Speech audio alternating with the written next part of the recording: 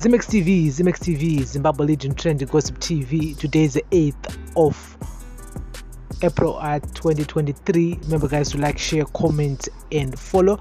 So, guys, nine people died while 31 others were injured when a commuter omnibus they were traveling in collide with a minibus along the Harare Mashingo Highway uh, yesterday, and uh, which was the uh, 7th of April uh, 2023.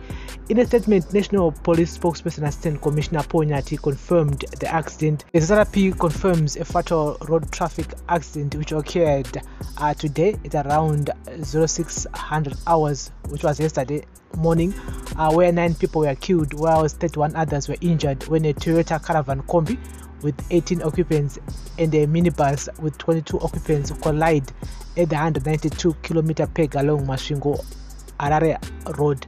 The bodies of the nine victims were taken to Mvuma Hospital mortuary for post-mortem, while 20 injured passengers are admitted at the same hospital.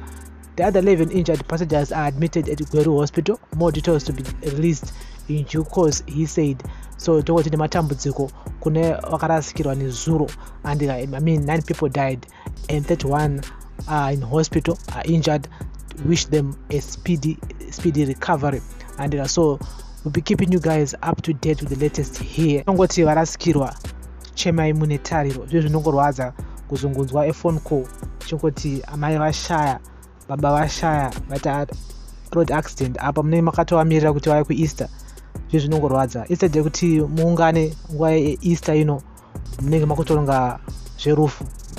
This is so sad man. It's really really sad and uh, so Ximex TV hub for the communities.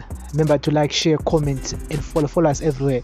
Ximex TV Zimbabwe on Facebook and Ximex TV on our Instagram page and here also on our YouTube page as Ximex TV.